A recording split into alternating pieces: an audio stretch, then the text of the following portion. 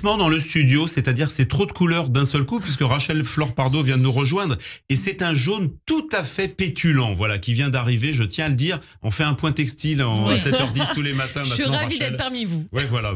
Et le jaune et le bleu, regardez comme c'est joli. Vous qui nous regardez peut-être sur radioj.fr, eh bien vous voyez la différence. On parle d'un truc un petit peu plus sérieux que les affaires textiles, harcèlement scolaire. À qui la faute?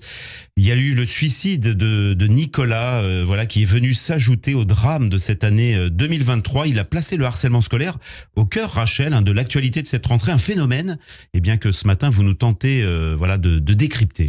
Oui, le harcèlement scolaire touche un enfant sur dix, près de 800 000 élèves chaque année, soit trois enfants par classe.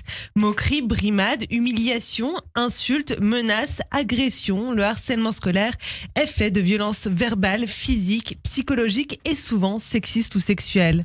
À l'école, pendant les pauses, dans les couloirs, à la cantine, mais aussi avant et après l'école, dans la rue et sur Internet. Des drames trop nombreux et ces prénoms qui résonnent encore qu'on ne peut oublier. Lucas, Lindsay, Nicolas, Lisha, Marion et tant d'autres. Qu'importe le prétexte, tous les milieux, tous les âges sont concernés. Le harcèlement a quelque chose d'absurde. Un jour, on vous reproche d'être trop grand et le lendemain, d'être trop petit, trop mince, trop gros, trop bête ou trop intelligent. Il faut se défaire de l'idée que la victime porte en elle la source du harcèlement, tant ce phénomène est aléatoire. Il peut tomber n'importe quand, sur n'importe qui et pour n'importe quelle raison. Alors Rachel Flore Pardo, comment expliquer ce phénomène? Celui qui cherche à comprendre le harcèlement scolaire cherche d'abord un responsable. Naturellement, il s'intéresse à celui qui harcèle. Et ce qu'il constate rapidement, c'est qu'il a affaire à un groupe, à une meute. La meute, elle est faite de ceux qui dirigent et de ceux qui suivent, de ceux qui moquent et de ceux qui rient, et même de ceux qui regardent sans rien dire. Alors les plaintes se multiplient, elles visent non seulement les harceleurs, mais aussi les professeurs, les proviseurs, les recteurs, tous ceux qui ont mal ou pas agi. Et ces dernières années, ce sont les grandes plateformes numériques qui sont venues s'ajouter à cette liste. Il est vrai que les réseaux sociaux ont offert à ces pratiques anciennes un mode opératoire nouveau qui, par le jeu des likes et des algorithmes, multiplie les possibilités d'atteinte et exacerbe dangereusement la vulnérabilité des victimes en ne leur laissant aucun répit.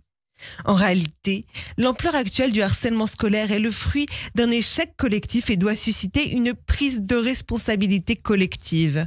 Il serait utopique de croire que l'éducation nationale peut à elle seule trouver des solutions.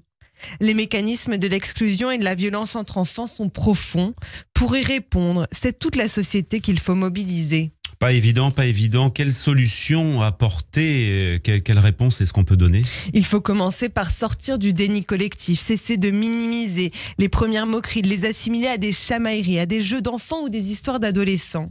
Aujourd'hui, les professeurs ne sont pas formés. Demain, il faut, avec les parents, leur donner les clés pour mieux détecter les signaux faibles, presque invisibles.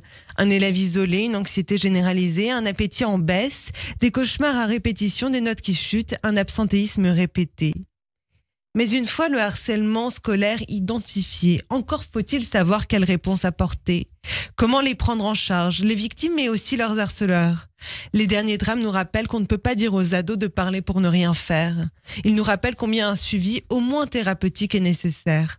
Enfin, le harcèlement scolaire n'a rien d'un mal nouveau. Il illustre la tentation d'un groupe de se construire au travers d'un bouc émissaire, du rejet de celui qui, par sa différence, remet en question les normes établies. Comment parler de harcèlement? Sans parler de sexisme, de racisme, de validisme, d'homophobie ou de grossophobie? Le harcèlement est l'expression de la tyrannie de la majorité normée. Il se nourrit des dynamiques sexistes. Selon sa cible, il est changeant. Aux garçons, il reproche une orientation sexuelle réelle ou supposée, aux filles des photos dénudées. Alors la culpabilité s'installe du mauvais côté et ce sont les victimes qui essayent de se transformer pour mieux coller aux normes de la société. À quelques jours de la présentation d'un plan interministériel sur le sujet, je veux rappeler qu'on ne peut s'attaquer au harcèlement sans nommer les stéréotypes dans lesquels il puise ses racines. Et aux victimes, je veux dire de ne pas laisser la honte, la culpabilité les isoler, je veux leur dire de parler, qu'elles n'ont rien à se reprocher, que ce n'est pas, pas, leur faute. Merci Rachel Flore Pardo pour cette chronique sur le harcèlement scolaire. 7h15 sur Radio